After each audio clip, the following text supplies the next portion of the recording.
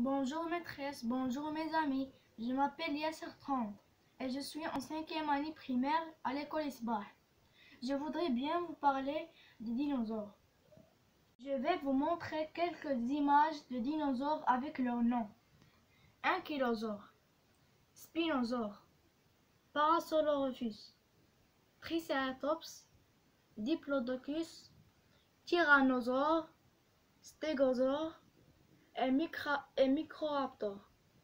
Ce sont des animaux qui ont régné sur notre planète plus de 150 millions d'années, aussi grands qu'un immeuble de quatre étages, ou à peine plus gros qu'un corbeau, chasseurs ou brouteurs, couverts d'écailles ou de plumage.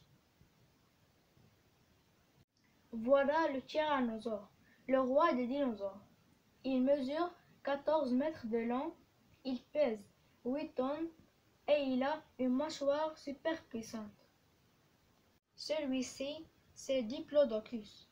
Il mesure 27 mètres de long, il pèse 10 tonnes et c'est un dinosaure géant.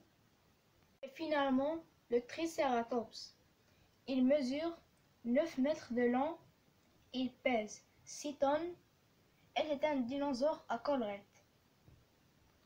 Il y a 66 millions d'années, leur monde bascule.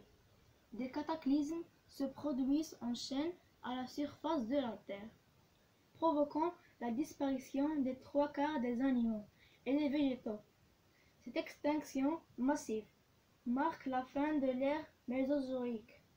C'est aussi la fin du règne des dinosaures sur la Terre. La vidéo est terminée.